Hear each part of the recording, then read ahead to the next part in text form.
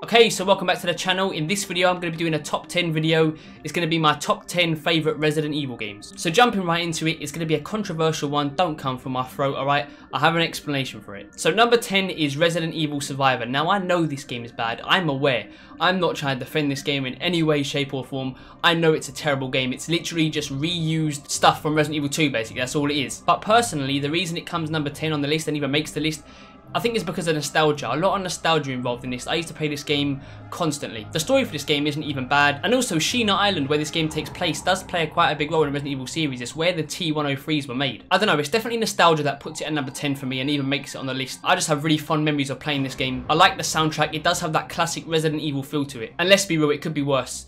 Number 10 could be Resident Evil 6. Coming in at number 9 is going to be Resident Evil 7. Now I absolutely love Resident Evil 7. Brilliant game, really interesting and brought Resident Evil back to what it was really. I've completed it countless times, I've platinumed it and I absolutely love it. It does have a Resident Evil feel to it. Not like the old ones, but it does have a Resident Evil feel to it. Nothing bad to say about this game. The only thing I don't really like about this game is the molded. I just wasn't a fan of the molded. I wasn't a fan of the story, really. I, I think it's got some brilliant characters. I think Jack Baker is one of the best villains in Resident Evil. He literally feels like a tyrant. I think he's brilliant. It's just the whole Evelyn stuff I wasn't really interested in. The virus itself isn't really interesting. The molded are not fun enemies to fight. They're really annoying. And shockingly, the game being first person isn't even a criticism for me. I quite like it first person. I thought it was a nice change up. Of my favourite things about this this game is all the callbacks to the old game. A non-steroid using Chris shows up and he looks a lot more like his, his old self, which I really like. I really prefer Chris's look to the Resident Evil 5 look. You have mentions of Alyssa Ashcroft from, uh, from Outbreak. There's just small things like that they put in for classic Resident Evil fans to enjoy and I love it. But yeah, nothing really bad to say about this game. It did really well. It brought Resident Evil back on the map. Before this game was released, Resident Evil was seen as sort of a joke with Resident Evil 5 and 6,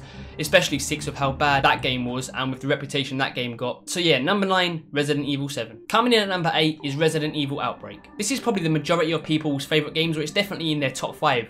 It is a brilliant game. The story in it is so, so good. This game shows the whole of Raccoon City. It shows what's going on in the whole of Raccoon City, the very early days of the outbreak. You've got some interesting characters, Kevin, Yoko, they're really interesting. The gameplay style of it was really fun. The only criticism about this game, and I think it's literally everyone's criticism, is the infection meter you have. And it, I think it does, it really does take away from the gameplay of it. If that wasn't in the game, it would be so much more enjoyable. The fact that you sort of have to rush and find these, these pills to slow the infection down and stuff like that. If you could just take the game at your own pace, it would have been so much better. I don't know why they added that infection meter in. But that is literally my only criticism for this game. I absolutely love it. You get some story about characters like Nikolai from Resident Evil 3. There's so much lore involved in this game and it's my favourite thing about it. Coming in at number 7 is going to be Resident Evil 0. Resident Evil 0 is such a cool concept, takes place before 1, and you get to play as Rebecca and Billy. Billy is such an interesting character and I really wish they would bring him back. I really want to find out what happened to him after the events of 0. But the reason I'm putting this game number 7 and not any higher is because the gameplay of it is really weird. It's not that I dislike the gameplay, it's just that it's really different. I don't like the item box stuff. I really wish there was an item box in the game. I don't like how you can drop your stuff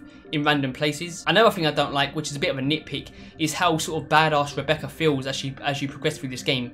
Because you know this is meant to be before Resident Evil 1, and when you see her in Resident Evil 1, she's really like timid and like clearly not skilled in the slightest. She's like she has no clue what's going on, and it just doesn't make any sense from a storyline perspective. To justify that in my head, I've always thought, okay, she's been through all this at Resident Evil 0, she's come from 0 right to Resident Evil 1 in the mansion, and she's probably really tired, and it explains why she lacks in skill and stuff like that. That's what I've tried to do to justify. Other than that, there is a lot I love about this game. Like I said, I love the characters, I love the enemies they introduced. Some of the enemies they introduced are really cool. I do like the monkeys. Something that was interesting to see, but it wasn't annoying. I love the foul tyrant boss fight. I thought that was really cool. This is a great game with a great story, great characters. There's just a few small things that make it less enjoyable for me, which is why I've put it at number 7. Coming in at number 6 is Resident Evil 1. The reason Resident Evil 1 comes at number 6 is mainly just because of how dated it is. There's nothing bad to say about the game.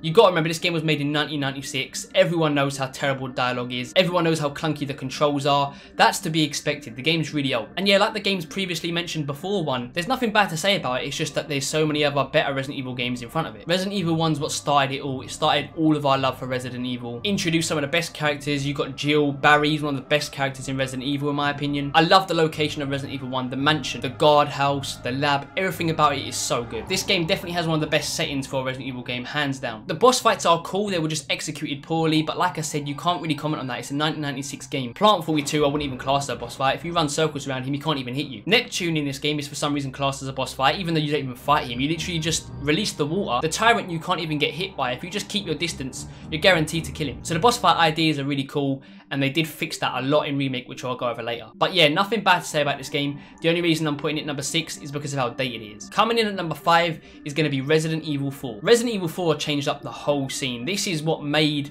over-the-shoulder games a thing. This is what got it really popular. Same with QuickTime events. I know there's games that had QuickTime events before Resident Evil 4, very few games, but Resident Evil 4 is the game that got it noticed and got it popular. Even though personally I'm not a fan of them, it did change up things in the gaming industry. Like everyone describes this game as the downfall of the Resident Evil series, and I would agree. I would agree that this was the start of when Resident Evil went bad. But it's such a good game with so many cool enemies. You're playing as the best character in the Resident Evil series, in my opinion, Leon S. Kennedy. And the game's got so much replay value. Resident Evil 4 is probably one of my most played Resident Evil games. Back in the day, I used to play this game for countless hours, multiple times, and I've just got such fond memories with it. The only thing I don't like about this game is the set path you take. There's no going from point A to point B back to point A and into point C. There's none of that. There's no exploring. There's no going back to see if you missed anything. And that's just not in this game. There's just one set path. That's really my only criticism about this game. Other than that, I think it's really fun. I think it's got more replay value than a lot of Resident Evil games. The boss fights in this game are okay. I don't think they're amazing. They're just decent. But yeah, number five is Resident Evil 4. Coming in at number four is going to be Resident Evil Code Veronica X. I absolutely love this game. And to be honest with you, until a couple of weeks ago, this wasn't number four on my list. But there was a weekend a couple of weeks ago where I completed this game multiple times. It was like four times within the space of two days or something, I was just hooked to it. I was really hooked to it. And I forgot how good the game was because it had been a while since I played it last. It has the classic fixed camera angles, but the camera sort of follows, so it's a bit more convenient for modern gaming. You play as Claire and Chris, you can't go wrong with them two. The boss fights in this game are phenomenal. My favourite part of this game has to be when you fight Alexia in the Resident Evil 1 mansion replica. That part is so good. You've got Wesker there butting heads with Chris, and then Alexia gets involved, and it's just such a throwback to the Resident Evil 1 days, and I absolutely love it. You've got some interesting new enemies in this game. You've got the Poison Hunters, which I thought was a really good addition. This game is one of the best soundtracks when it comes to Resident Evil. Soundtracks are a huge thing to me when it comes to games. You've got the T08 boss fight on the plane, which was so good. Man, back in the day, I was stuck in that for ages. It took me forever to get past that. This game is just phenomenal. It's such a fun game to play. And like I said, it's only recently made number 4 for my list. I just forgot how good everything was in this game, and it pains me to put it as number 4. I really wish I could put it closer. Now we're into top 3. Coming in at number 3 is going to be Resident Evil 3. Now considering that this game was meant to be an expansion of Resident Evil 2, it is really, really good. The original idea for this game was that it was going to be an expansion to Resident Evil 2, but they just ended up making it its own game. Resident Evil 3, you're playing as the best female protagonist in my opinion, Jill. You got the introduction of some really cool characters. Carlos, who I really wish you would see more of. Mikhail, who's a really good character. Nikolai, one of the best villains in Resident Evil. You have the best tyrant to ever come out of the Resident Evil series, Nemesis. Running through the streets of Raccoon City and hearing Nemesis' stalking theme has to be one of the creepiest things ever. There's just so many good things about this game, even small things like the gunpowder. That was so interesting and such a cool thing to add into the game. Quick turn in, something really small, but it really helped. You can dodge enemies. You've got the choices you can make, whether you go into the police station or whether you fight Nemesis, whether you jump out of the window with the train or whether you just force the train to stop. The clock tower boss fight of Nemesis has to be a standout moment for me.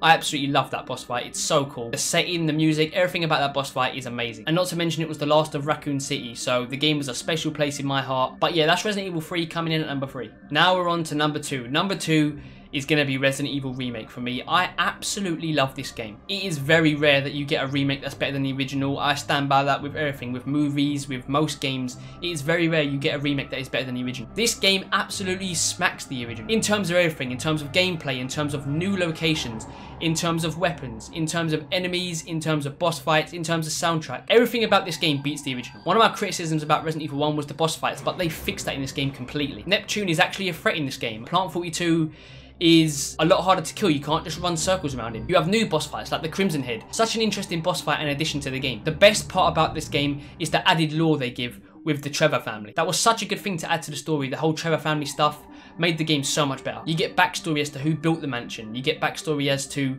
who they started testing on first and just stuff like that. It made so much more sense. And obviously the dialogue is way better. It's so much more polished. But yeah, everything about this game is just incredible. I've played it multiple times. It's got so much replay value, way more than Resident Evil 1. And I just have to put it as number 2. Now finally, on to number one, my favourite Resident Evil game of all time, and my favourite game of all time, like throughout any game, not just Resident Evil game. It's Resident Evil 2 and Resident Evil 2 Remake. I have to put them both number one. I can't pick between the two. The reason I can't pick between the two is because there's some things that the remake does way better than the original, and there's some things that the original does way better than the remake. And I'm not going to go into what that is. I'll probably do a separate video on that. But let's talk about how great Resident Evil 2 is, alright? This game is insane. It's got the RPD station. It's by far the best location in any Resident Evil game in my opinion. The soundtrack in this game stands out to any other Resident Evil game. Same goes with the boss fights. Fighting Birkin and the multiple forms of Birkin is so interesting. You're fighting the man who created the G-Virus. It's the introduction of my favourite Resident Evil character, Leon. It's the introduction of Claire. The introduction of Ada. They introduce so many iconic characters in this game. The nostalgia I get when I play this game is just unmatched. This was the game that I played most as a kid. I was really young. I was maybe about four or five and I was playing it and it scared the crap out of me, but I still loved it and I still played it. There's genuinely not a bad word I can say about this game. I love this game down to the small details of the precinct keys, for example. I love how unique that was. You got Mr. X in this game who appears at the most random times, specifically that part where you raise the tram and you see him on the screen and then he hits the screen that part is just such a what the fuck moment. Like, you don't know what to do at that point. I could literally talk about Resident Evil 2 forever, but it's definitely number one for me. It's my favourite game of all time. Anyone who knows me knows Resident Evil 2 is my favourite game of all time. I think they've done an absolutely incredible job with the remake, and I just can't choose between the two. I love them both equally, so they're both being placed at number one. But that's about it for this video. I've been talking about Resident Evil for far too long. I don't know how much I'm going to cut out of this, but that's my top 10 favourite Resident Evil games. Leave your top 10 down below. Tell me why. Definitely stay tuned for more Resident Evil stuff. But as for now, I hope you enjoyed. Leave this video a like, share this video around, and as always, cheers for watching.